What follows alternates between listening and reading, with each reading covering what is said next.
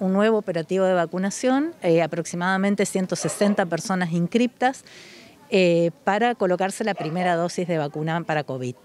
De esto es el resultado de un rastrillaje que se realizó en los barrios El Trébol, 4 de junio y zona de Chacras, en conjunto con el Centro de Salud Charrúa, justamente se hace el rastrillaje, se, les eh, asigna un turno a las personas para que vengan a vacunarse. Muchas personas no llegaron a vacunarse por los, le quedaban distantes los puntos de vacunación que eran la escuela hogar o el, hospital La Baxada.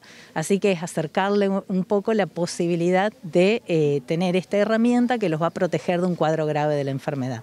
Y bueno, cada, en cada casa hay uno o dos que no se han vacunado de múltiples edades. Así que tenemos, han visto en la cola de 50, de 70 de, 30 años y demás. Y bueno, entonces lo anotamos y lo citamos para hoy. Bueno, y acá están los resultados, acá han venido a darse la primera dosis. Eh, nos han traído Sinopharm, eh, es eh, la, primera dosis y iniciamos esquema de vacunación con la, gente. los barrios que visitamos es 4 de junio, el Trevo, la Chacra, el asentamiento del Hondero, calle Jarolaski y demás que es una zona este, periférica. Eh, de, mucha población que no tiene acceso por ahí a la tecnología.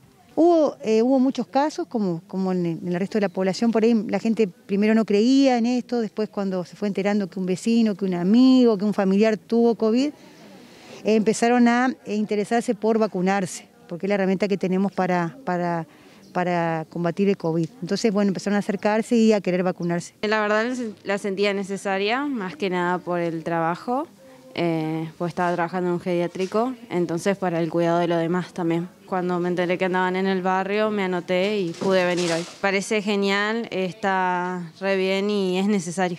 Es necesario porque hay muchos, más que nada jóvenes, que no llegaron a vacunarse.